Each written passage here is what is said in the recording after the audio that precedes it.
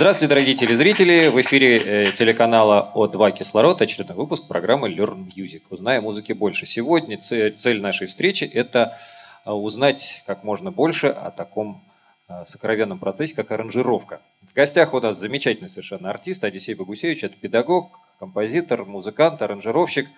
Его еще остальные титулы мы чуть позже перечислим, а сейчас пока ему аплодируем, потому что Одиссей Богусевич к нам пришел.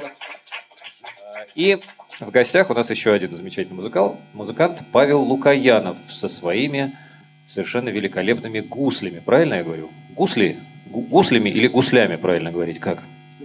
Как угодно. Хорошо, ну действительно. Сейчас уже аплодисменты Павел Лукаянов.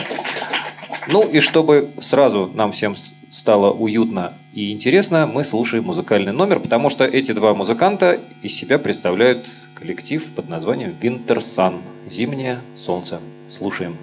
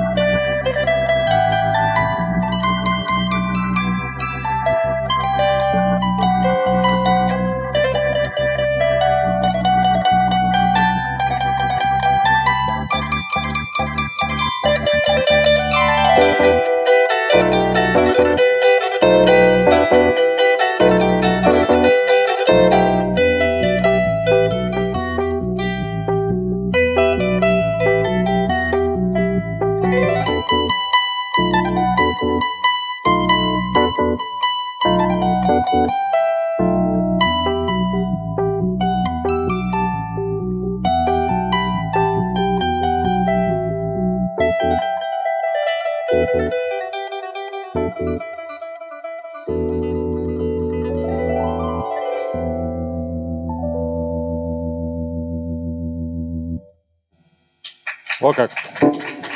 Павел Лукаянов, Одиссей Гусевич. Дуэт э, «Зимнее солнце», «Winter Sun». Как вообще лучше, по-русски или по-нерусски? Все хорошо. И так, и так хорошо. Кстати, дорогие друзья, вы обратили, наверное, внимание на нек- некоторые странные движения Одиссея Богусевича. Мне сначала казалось, что он хотел там что-то ногой поправить, а потом я понял, что не так все просто. Да, вот что это за прибор и что с ним происходит, когда вы так делаете? Вот, В этом приборе есть луч невидимый, и я э, запускаю некоторую функцию этого прибора с помощью э, постановки части своего тела под луч. То есть э, свободной конечности в этот момент, да? Да. Иногда делаю головой, когда прибор действует. А, Я понял, это, конечно, не относится к нашей программе, поэтому вкратце. Но вообще такая затея, вот именно на контрасте, да, вот вот совершенно космической какой-то эм, установки и древнего русского народного инструмента. Или это случайно так получилось? Я думаю, что это случайно, и под э, гусли звончатые был э, подобран э, звучание э, клавишных инструментов. А Они согласуются именно в таком варианте неплохо. То есть шли все-таки от гуслей, да? Да. Понятно. А автор композиции, если не секрет, кто? А, Павел, кто это автор композиции? Э, Песня называлась «Веснянка». Да, Веснянка. Ну, мы буквально взяли одну темочку. Композитор Виктор Маляров. Это была первая тема. Веснянка, да, основанная действительно на древних, древнем жанре русского народного То есть это, в общем, фольклора, да. традиционное про- произведение, которое вот обработано при Ну, помощи Да. космических Ну, сначала технологий. это было, мы пытались при- приспособить это произведение, а потом, конечно, оно вылилось у нас такую спонтанную импровизацию. То есть, понятно. Вот. Сдерживали, сдерживали, потом понесло. Хорошо, ладно. Я думаю, что мы, конечно, еще э, вас пригласим не раз, и тогда вот прям исключительно о, о музыке и о гуслях, и об инструментах поговорим. Но сегодня у нас основная тема – это аранжировка. Давайте переходить к основной теме. Дорогие телезрители, если вы хотите задать вопрос, звоните нам сюда по телефону 645-9297. Прямо в студию. У нас прямой эфир. Код Москвы 495. Не забывайте, если вы из другого города звоните. И вы узнаете ответ на ваш вопрос, э, во-первых. Во-вторых, вполне вероятно, получите приз. Приз за самый хороший вопрос сегодня вот такой тренажер Грипмастер, предоставленный, естественно, нашим главным спонсором компании Динатон. И позволяет он развить невиданную доселе беглость пальцев. Это нужно, в общем-то, всем, но музыкантам, которые играют на различных инструментах, это просто необходимо.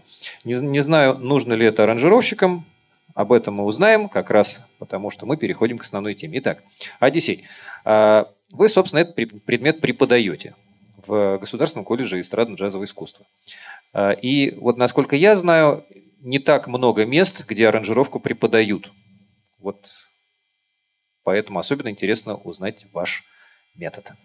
Ну, в принципе, да, а, предмет аранжировки, он немножко исходен с композиции, потому что это тоже сочинение музыки. Но в данном случае э, аранжировка, она дружит э, с многими техническими средствами, программами компьютерными или устройствами, а, на которых нужно уметь э, записывать, э, которые нужно знать, какие звуки они издают. И все это а, иметь как арсенал музыкальный, и потом это употреблять в цели какой-то. То есть можно ли так считать, что на сегодняшний день э, человек, не умеющий управляться с компьютером или там с рабочей станцией, скажем, не имеет права называться аранжировщиком? Нет, он может э, называться аранжировщиком, он, в принципе, может реализоваться по-старому с живыми музыкантами. Вполне, это даже лучший вариант. Но если э, музык- музыкальная деятельность очень широка, и она довольно-таки приемлема в домашних условиях, то не обойтись без этого дома. То есть если нету оркестра под рукой, Конечно, да, то да. уже точно совершенно без компьютера никуда. Ну, в Ну, принципе, да, рабочий потому что сейчас очень много этого такого сервиса э, компьютерного, который позволяет э, реализовать даже симфоническую музыку или музыку для хора композитору или аранжировщику. И услышать уже звучание, получить все-таки это. Ну, скажем там, в, в эпоху биг-бендов, э, джазе, да, там 30-е, 40-е, э, фигура аранжировщика это была обязательный, так сказать, элемент большого оркестра. Причем далеко не всегда это был один и тот же человек. То есть дирижер и аранжировщик это немножко разные люди были, они разные функции выполняли. Ну, хорошо, это я так немножечко все отвлекаюсь, а знаю, там есть план сегодня у нас. Да, у меня есть план, потому что эта тема, э, я знаю, что у нас время ограничено, и я хотел быстро набросать самое главное. Поэтому, да, вот в данном случае даже вот эта первая тема, она э, была примером аранжировки. Э, Павел как раз показал сколько было дано музыки, то есть один мотив и какая композиция получается в данном случае. Потому что там была и модуляция в минор, и опять мажор. То есть это все спланировано аранжировщиком, и он управляет, в принципе, э, психологией. А, то ли он может осветлить музыку, то ли он может ее э, сделать более грустной. А первый пункт, который я для себя определил для аранжировщика, это, конечно, человеческий фактор, то есть э, музыкальность самого человека. Конечно, от этого никуда не деться. А, любой музыкант – это бурлящий человек э, ритмами, мелодиями, какими построениями. То есть мы сейчас как бы начинаем отвечать на вопрос, что, какими качествами должен обладать хороший аранжировщик. Ну, правильно? Да, да, я попробовал проанализировать это и немножко систематизировать. В данном случае, да. Э, каждодневные репетиции музыканта или музицирования, они могут быть любыми. Там.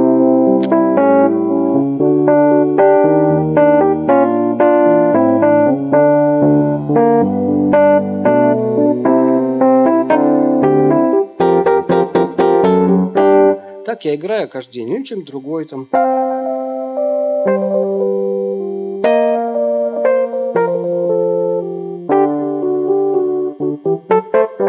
Другая музыка совсем. Получается, что э, который человек э, имеет возможность так легко, ему, конечно, легче будет потом и сочинять, и аранжировать чего-либо, потому что у него всегда какие-то могут прийти идеи, а, даже на чужую музыку. Вот, так что То первое... есть аранжировщик должен быть музыкантом. Музыкантом, да. Очередь, Первый фактор это багажом. музыкальность, да. Его быстрая способность. У него, если большая, э, как бы развитая или от природы дана музыкальность, ему будет легче это делать. Второй пункт, который я э, для себя открыл, э, это умение слушать. Дело в том, что мы, появившись на свет, знакомимся с миром и с музыкальным тоже. И у нас очень много всего сделано.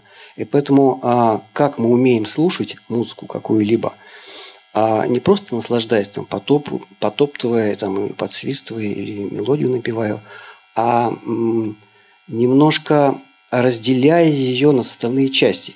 Анализируем. Анализируем, да.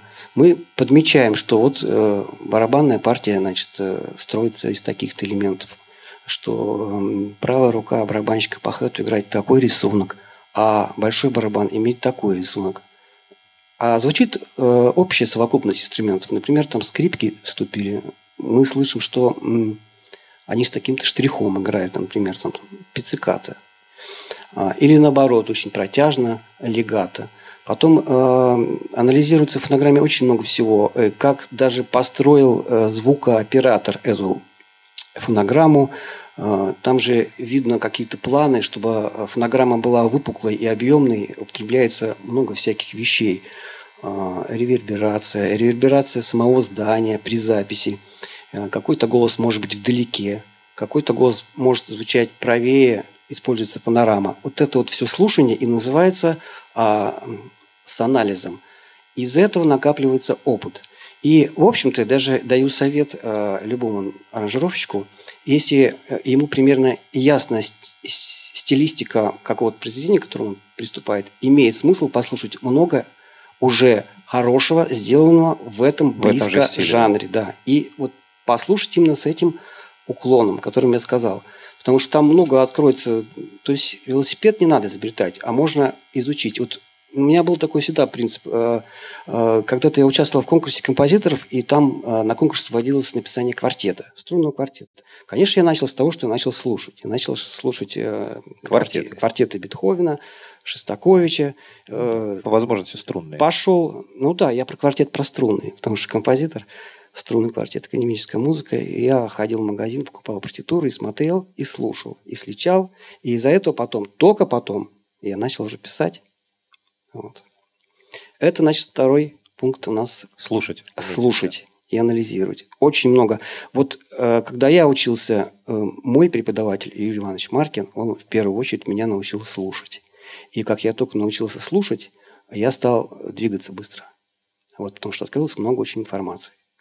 А интересно, если в двух словах, вот как он это делал, как он учил слушать? Что-то заводил, да, и потом вместе, проверял, да. что там услышал ученик, а что Мы не вместе слушали, и э, его подход, объяснение, как он слушает и что подмечает, э, я для себя открывал. И начал потом отличать э, одно от другого, плохое соло от хорошего соло, звук, нету звука, плохо записано, хорошо записано, эмоционально записано ли всеми участниками, есть драйв или нету его. Вот это все начало на меня наваливаться, и, естественно, я стал и к своей музыке подходить уже с этих планок. Это вот второй пункт. Так, я... Третий. Третий пункт у меня а, это, конечно, как я и сказал, техническая база. Если человек обладает и музыкальностью, и может слушать, и может уже воплощать, ему надо уметь воспользоваться всеми вот этими ручками, э, кнопочками, знать, как э, зап- цивилизации. запустится какая-либо дорожка на запись, уметь играть под метроном, потому что у нас музыка в тактах находится в размерах 3 четверти, 4 четверти, 5 четвертей. Вот все уметь и знать это оборудование. Если я даже приобрел какие-то клавиши, э, мне нужно потратить энное количество времени, чтобы он подчинился мне, потому что э, то, что я вижу только дисплей, и на нем какие-то нанесены символы, это все равно символы, их надо разгадывать, и чем быстрее это произойдет, тем а, тот посыл творчества, который вдруг есть, быстрее воплотится в звуки. Очень часто такая история, когда э, вот особенно начиналась компьютеризация, там 90-х активно, э, большое количество профессиональных музыкантов, вот на моих глазах это там десятки случаев, покупали компьютер и говорили, ну все, завтра я сделаю вообще, воплощу все свои мечты, они приходили домой, включали его, будучи уверены, что раз он музыкант, там, играл 30 лет на всяких разных инструментах, у него все это должно легко получиться. Не тут-то было. Проходила неделя-другая, он приходил и говорил, ну, лучше я как-нибудь по старинке, так, на гитарке, а ты что-то там как непонятно, ничего. То есть вот это момент довольно сильно обламывающий. Для творческого человека это испытание, я бы сказал, на терпение. Тут, конечно, надо очень э, никуда не спешить, никакого результата быстро не получится. Ты должен постепенно как бы с какой-то одной опцией познакомиться, потом на следующий раз второй, и потом это сложится в пирамидку небольшую. Во-вторых, эм, это тонкое дело, какой звук и где он есть, чтобы потом его извлечь из памяти даже. Вот я слышу какой-то, вот я сейчас приступлю к этой музыке, мне понятно, а я знаю точно, что вот тот звук мне подойдет, и тот звук подойдет, и я знаю, где его, так сказать, включить. То есть и им сыграть. Память еще должна память, быть развита, да, потому должна, что а, вот в этом инструменте, наверное, пресетных звуков штук 500, наверное. Да, их надо все отслушать, ими наиграться э, в свободном полете. Они оставят вслед э, в, в своей музыкальности в этом банке. к сожалению, вынужден на этой интересной сентенции прервать Одиссея Богусевич, потому что у нас подкралась незаметно рекламная пауза, но Самое интересное начнется после нее. Не переключайте, только не переключайте ваши телевизионные приемники. Рекламная пауза на О2.